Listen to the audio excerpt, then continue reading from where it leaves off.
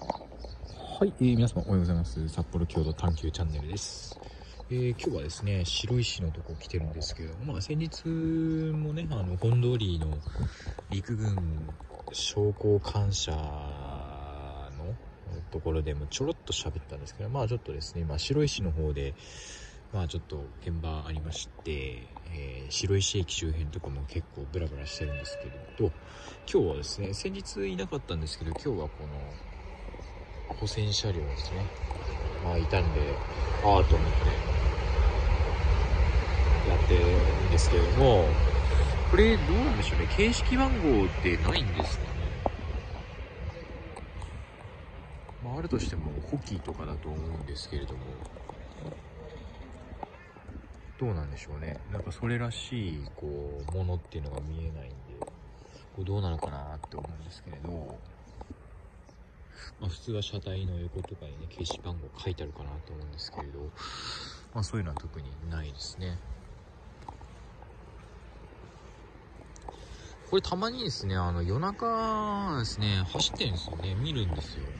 結構、あの、8件とか。まあ私も仕事4時とか、4時半、朝の4時とかからね、3時過ぎとか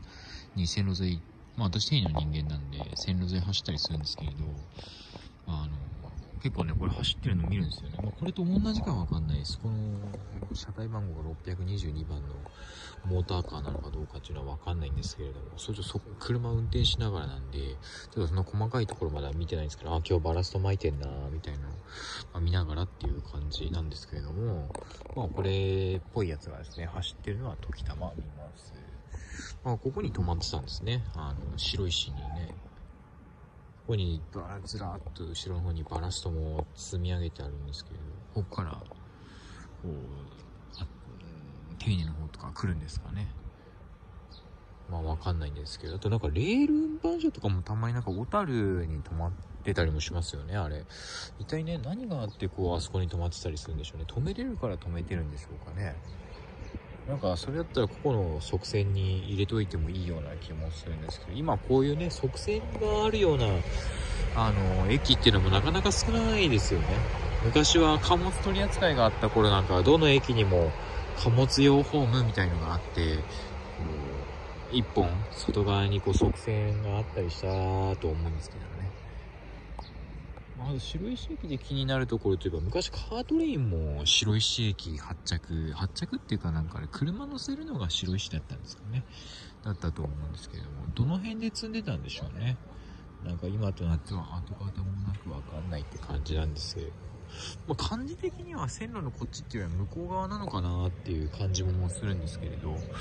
まあどうなんでしょうね。まあししかしあの全然話変わるんですけど今あの川下街道踏切ってあそこに踏切あるんですけれどまあやっぱり混みますね。渋滞渋滞っていう感じです。はい。まあ全然なんか今日は当てもなくっていう感じなんですけれどそんな動画になっちゃってますけれども。まあ今日はなんかねホッパー車止まってたんで、えーちょっとあーいいなっていう。補選車両好きですね私もはい。まあそういうあれでした。今回もご視聴ありがとうございました。